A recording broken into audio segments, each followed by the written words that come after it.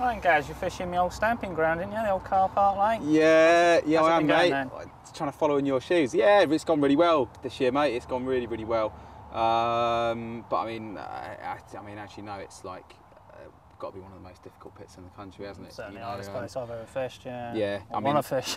yeah, I mean, I kind of, you know, I mean, I've had an incredible season, but I've only had two bites. Do you know what I mean? But that's kind of like how it is down yeah, there, isn't it? Yeah, But getting bites every um, yeah, I mean, I fished it. I didn't have a bite from October last year all the way through until July this year. Fished it all the way through the back end. Yeah, winters are grim.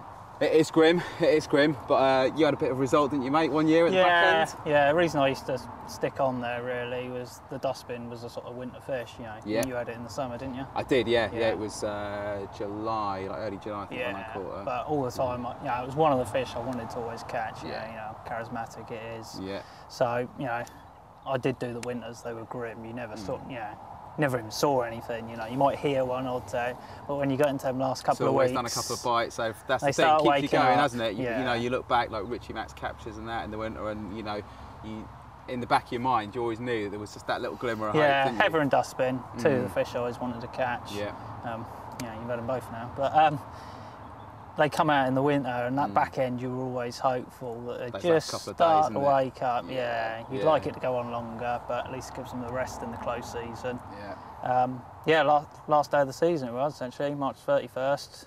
Um, good friend of mine, Lee, had had heather that morning, Yeah. just down to my left in the gate. Yeah. I was in waiting man's just in the corner, same sort of area you're fishing yeah, though. Traditional end of season Yeah. hotspot.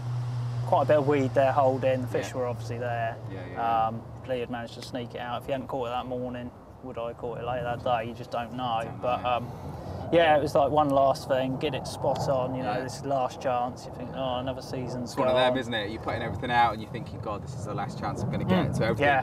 feels so much more critical, doesn't it? Yeah. You're feeling for that draw and you're thinking, God, was that right? Was it, did I redo it? Or Yeah, it, it it takes as like many that. casts as it takes. And, you know, the spots on there are quite small, site Yeah, critical. it's got to be right. You know, I used to fish on the rock hard stuff. I wanted that leg crack. Actually, every fish I had that leg cracked Cracked. down. And, you know, it was cast and cast. You were fishing, I was fishing a little spot, and you'd think you'd be landing the lead in exactly the same spot. If it didn't crack, it had to come in. Yeah, we do. You know, It's and I got it right. down there. 30 baits Yeah. on the spot, so Yeah. 14, 15 millers, on, right on the spot, nice and close. Um, I got the rod sorted by about lunchtime. We'd all been up early because Lee had heather. Yeah, yeah. Um, Trumpton's Point, um, Benny Hamilton was on Trumpton's. Yeah. Uh, Monkey was in the beach, so the three of us there. We all sort of crashed out for the afternoon. I think it was half past three. It's just pulled, pulled up to the top, Yeah. left hand rod, and just as I'm getting out of the bag, putting the boots on, it started to click off and then melt. Um, and then old knees started to go. the old knees go, yeah, yeah. It tore me out to a weed bed. Managed to get it moving. Shouted the others. Um, ben won't come in. Monkey was fast asleep. And no moon moving in. Yeah. Um, and it was just a case of keeping the weed moving. I say it bumped a couple of times, and then basically I just heaved the whole lot in. Yeah. Ben got down with the net, and as we pulled it over the drawstring, he's lifted, Yeah. and that little stumpy tail was hanging out the back. You see it. paintbrush tail. Yeah, all that water was ice cold. My foot got plunged in there, grabbing that drawstring and shaking it, and it was in. You know, and it's a cracking fish. Up goes the Middle shout. of the afternoon, yeah, proper belly shout. You know, going all season. You're after one. Um, Amazing. yeah, it was forty pound twelve, so yeah, over the magic mark as well. Looked pristine. Yeah. Got the photos done for last night. you Yeah. know, never know. Let's Yeah. have another go, like. Yeah.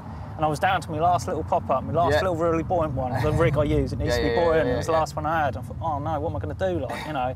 So I've cut it off on the ring, leaving it tied on the ring. Yeah. Tied a new rig up and threaded it on same same yeah, bait.